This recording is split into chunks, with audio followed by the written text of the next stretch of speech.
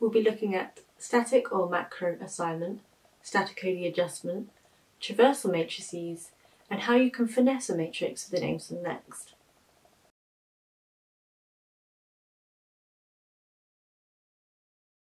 We're going to start off by looking at static assignment. I've already opened up the file, which is the initial macroscopic modelling file that can be found in your tutorial folder. We start off by creating a scenario. So project, new, scenario, static assignment scenario. And this will generate a scenario at the bottom. If we open this up, we can see the inputs for the scenario. We will select traffic demand, public transport plan, and a master control plan. All of these have already been generated in this file and are the same traffic demands, etc., as for your other modelling levels. So we just need to press OK on that. And then we now need to create an experiment. An experiment holds the parameters and the algorithm choices for your static assignment. So we will choose Frank-Wolfe we open up the experiment, you can see the maximum number of iterations and the relative gap. If we want to save path information, we need to create a path assignment object. This allows us to look at routing, carry out link analysis, and generate skim matrices. You can also use it as an input for other scenarios. For more information on that, please look at our integration tutorial. Now we've opened up the path assignment object we need to say where to save this file and give it an appropriate name. We then have to select this path assignment in the experiment outputs.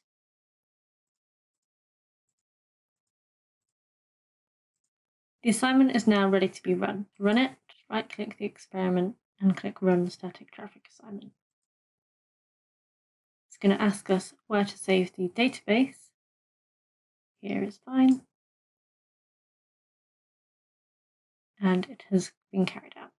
When the model finishes simulating, the assigned volume view mode will be turned on. You can see the assigned volume in PCUs here, and the width of the bar also gives the assigned section volume. The colour of the section indicates the volume capacity ratio. The darker the section, the more congested it is. You can look at the legend to check what the view mode represents.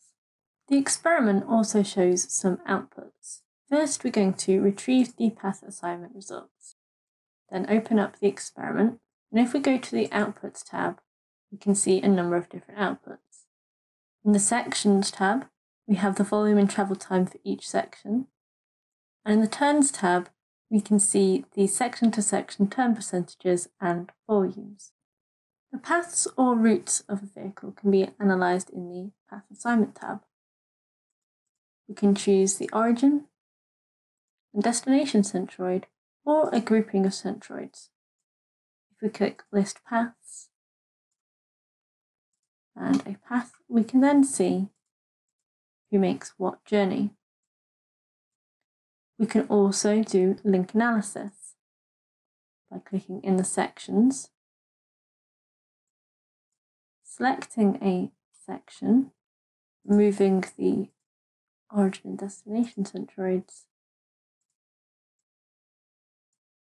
and clicking link analysis. We can now see who uses this section. You can also select multiple sections using either the AND or the OR command.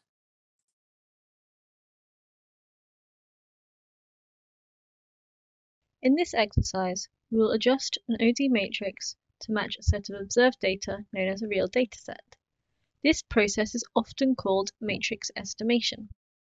First, we need to add and retrieve a real dataset, which is stored as a CSV. We want to load detectors CSV, which can be found in the same folder as the original Aimsun Next file. You can see we have four columns. We've got detectors name, we've got the time, the vehicle type, and the count. We then need to create an object inside Aimsun Next to be able to read this CSV. To do this, we go to Data Analysis, New, Real Dataset. Double click this. Click Add to add our CSV using the Real Data Simple File Reader. We need to choose our file path.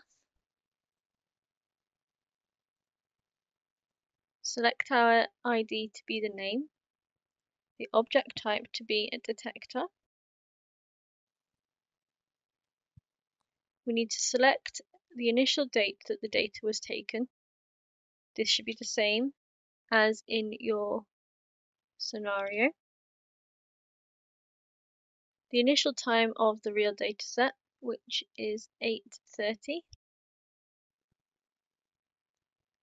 and we want to have four columns the ID, the time, the vehicle type and the count. Press OK, click retrieve and you should see in the log that it has successfully been retrieved. To check it's been brought in correctly, you can also go to a detector and look in the Time Series tab. Now the real dataset has been retrieved, we can create a static OD adjustment scenario.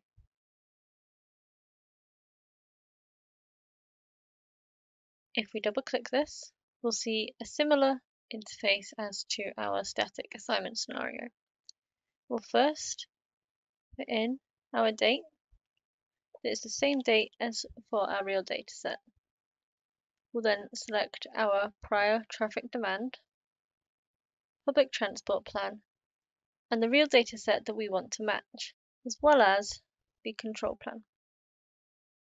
If we press OK, we then need to create an experiment which stores again our algorithms and parameters for the scenario.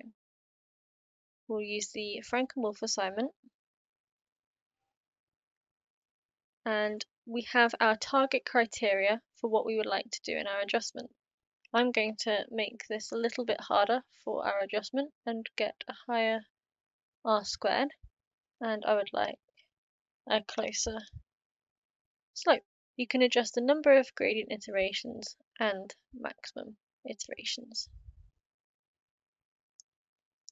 If we go to the Constraints tab, we can see that we have some ability to constrain the elasticity, the trip ends or generation attraction totals, the trip length, and the maximum deviation. You also have the option of setting a grouping that is a group of congested sections, i.e. where the demand is more than the flow. The adjustment experiment is now ready to be run.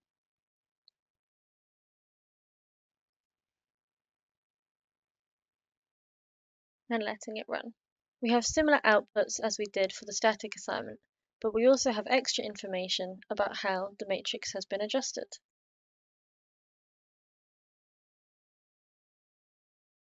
If we're happy with this adjustment, we can click the Create Demand and Matrices button, which will create a set of matrices and a traffic demand to be used in an assignment. To use these, create a new static assignment and assign the traffic demand.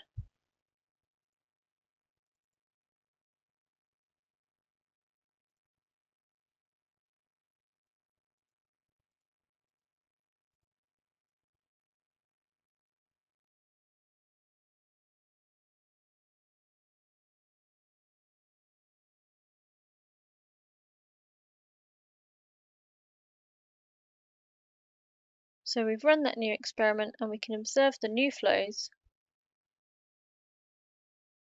and the validation.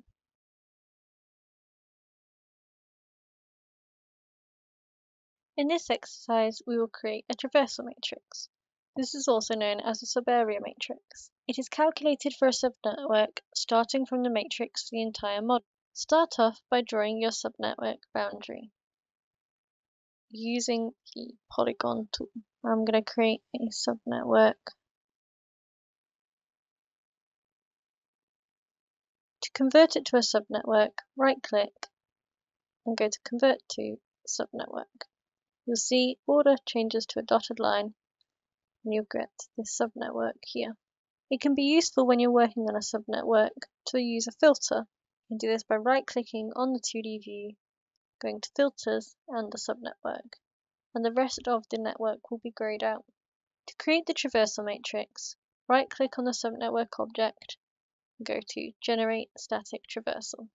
From this dialog box, we need to choose the assignment that we want to generate the traversal matrices from. This should be an experiment that has already been run. We're going to click the static assignment experiment from the previous exercise. It then wants us to choose how the public transport travel time will be calculated. We'll use travel time in free flow conditions, and we'll keep the original percentages of the centroid.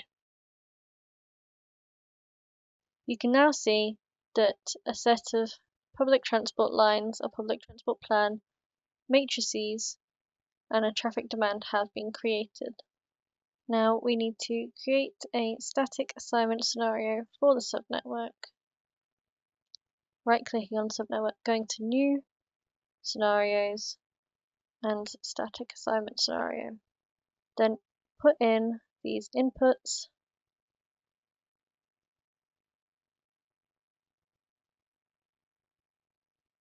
It uses the master control plan from our full project, changing the date.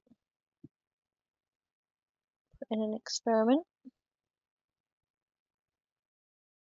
And we can run the experiment. And you can see just this part of the subnetwork has been run.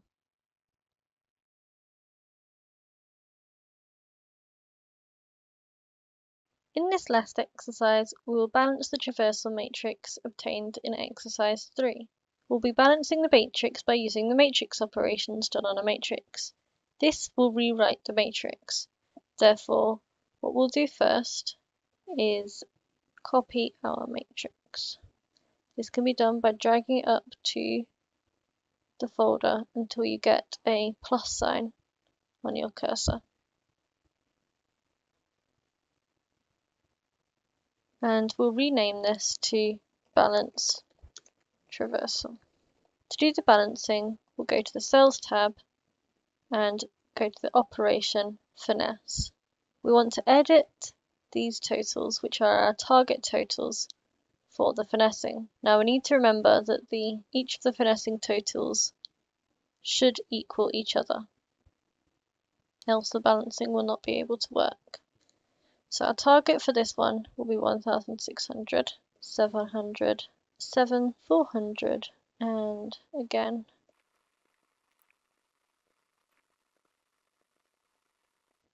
So we'll rename this to be balanced traversal and we'll go to cells, operation, finesse to finesse the matrix. We then need to input a set of totals for the columns and rows.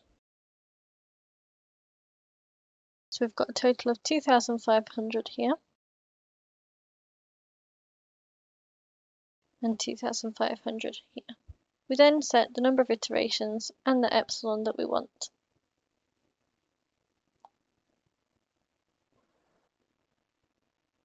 And we can see the points in the matrix which have a difference higher than 10%. To test this new matrix, we must assign it to a traffic demand and add it to a new scenario. So we'll create a new traffic demand, put in the balance traversal and the truck.